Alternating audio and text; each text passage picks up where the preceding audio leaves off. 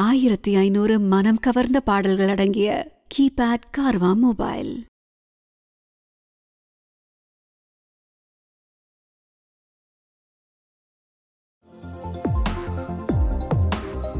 Kumaran silk Srinagar வழங்கும் good evening doctor good evening viewers தொடர்ந்து இருக்கக்கூடிய இருமல் அதாவது வாரக்கணக்காகவோ இல்லை மாதக்கணக்காகவோ இல்லை வருஷக்கணக்காகவோ இருக்கக்கூடிய இருமல் அப்படின்றது ஒரு சில பேருக்கு இருக்கக்கூடிய ஒன்று தான் இதுக்கு காரணங்கள் அப்படின்னு பார்த்தீங்கன்னா பல இருக்கலாம். அதாவது சில பேருக்கு த்ரோட்டில் ஏதாவது க்ரானிக் இன்ஃபெக்ஷன்ஸ் இருக்கலாம். இல்லைன்னா லங்ஸில் ஏதாவது infections TB COPD bronchial asthma இது மாதிரி இருக்கலாம். இல்லை சைனசைட்டிஸ் இருக்கலாம்.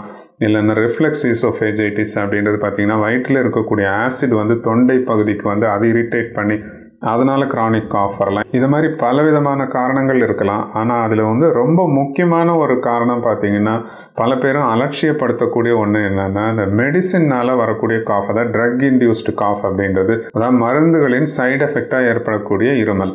டாக்டர் மருந்துகளுக்கு இருமல் கூட சைடு எஃபெக்ட்ஸா வருமா டாக்டர்? ஆமாம் ஒரு சில மருந்துகளுக்கு வந்து இருமல் அப்படின்றது சைடு எஃபெக்டாக ஏற்படக்கூடிய ஒன்று தான் டாக்டர் பல மெடிசன்ஸ்க்கும் காஃப் சைடு எஃபெக்ட்ஸா வர வாய்ப்பு இருக்கா? அதுல எது ரொம்ப காமனான மெடிசன் டாக்டர்? ஆமாம் பலவிதமான மெடிசின்ஸ்க்கும் வந்துட்டு இருமல் ஏற்படுறதுக்கான வாய்ப்பு இருக்குது சைடு எஃபெக்டாக அதில் ரொம்ப முக்கியமான ஒன்று பார்த்தீங்கன்னா ஆன்ஜியோடென்சின் கன்வெர்ட்டிங் என்சைம் இன்ஹிபிட்டர்ஸ் அப்படின்ற வகையை சேர்ந்த மெடிசின்ஸும் அதுக்கப்புறம் ஆன்ஜியோடென்சின் ரிசெப்டர் பிளாக்கர் அப்படின்ற வகையை சேர்ந்த மெடிசின்ஸும் இதில் வந்து ரொம்ப காமன் ஆனா டாக்டர் இந்த மெடிசன்ஸை ஏன் ரொம்ப ஹைலைட் பண்ணி சொல்றீங்க?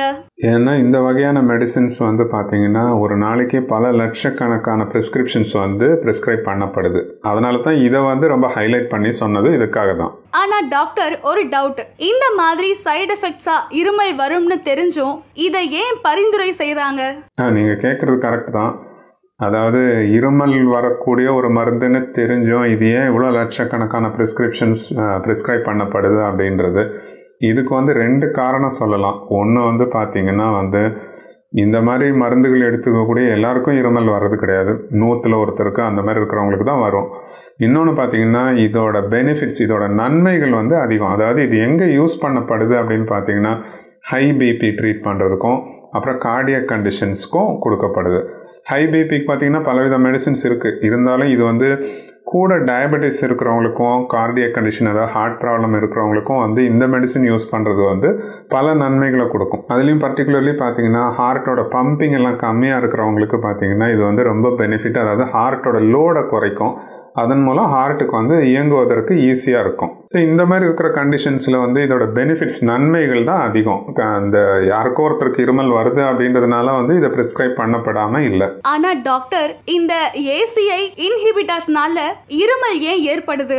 இது இருமல் ஏற்படுவது எப்படின்னு கேட்டிங்கன்னா இது வந்து பலவிதமான மெக்கானிசம்ஸ் இருக்குது ரொம்ப சிம்பிளாக சுருக்கமாக சொல்லணும்னா இது வந்து உடம்புல பிராடிகைனின் அப்படின்னு ஒன்று இருக்கும். அதோட லெவல்ஸ் வந்து இது அதிகப்படுத்தும். லெவல்ஸ் அதிகப்படுத்தும் அப்படின்றத விட அது வந்து அழியாமல் பார்த்துக்கும் அந்த பிராடிகைனின்றது அதனால் வந்து இருமல் அந்த பிராடிகைனின் அப்படின்றதுல இருமலை தூண்டக்கூடிய ஒன்று இது வந்து ஒரு ப்ராபபிள் மெக்கானிசமாக இருக்கலாம் இந்த இருமல் ஏற்படுறதுக்கு.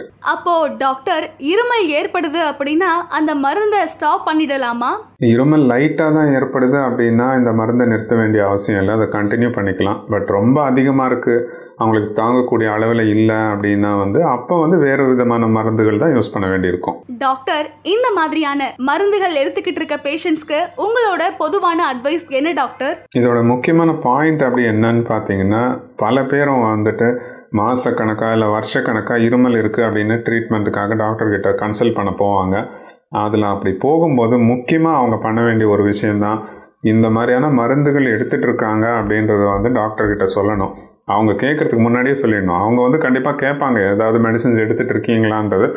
பட் ஒரு சில சமயங்களில் அது கேட்க மறந்துட்டாலுமே அந்த டயக்னோசிஸே மாறுற அளவுக்கு சான்சஸ் இருக்குது அதாவது அது டயக்னோசிஸ் கண்டுபிடிக்க வந்து கஷ்டமாகலாம். அந்த க்ரானிக் காஃப் எதனால் ஏற்படுது அப்படின்றது. அதனால இந்த மாதிரி இருமலோட வந்து ட்ரீட்மெண்ட்டுக்கு போகிறாங்க அப்படின்னும் போது வந்து இந்த மாதிரி மெடிசின்ஸ் எடுத்துக்கிறாங்க அப்படின்றத வந்து டாக்டர் கிட்ட முன்னாடியே அவங்க கேட்கறதுக்கு முன்னாடியே சொல்லிட்டா டயக்னோசிஸ் வந்து ரொம்ப ஈஸி ஆகிடும் அதே சமயம் தேவையில்லாமல் நிறைய டெஸ்ட் பண்ண வேண்டிய செலவும் குறையும். இவ்வளவு நேரமா மருந்துகள் எடுத்துக்கும் போது எதனால இருமல் வருது? அதை எப்படி தவிர்க்கணும்? இந்த மாதிரி பல பயனுள்ள தகவல்களை எங்ககிட்ட ஷேர் பண்ணிக்கிட்டீங்க. கண்டிப்பா இந்த வீடியோ பார்த்த எல்லாருக்குமே ரொம்பவே யூஸ்ஃபுல்லா இருக்கும். தேங்க்யூ டாக்டர் நன்றி.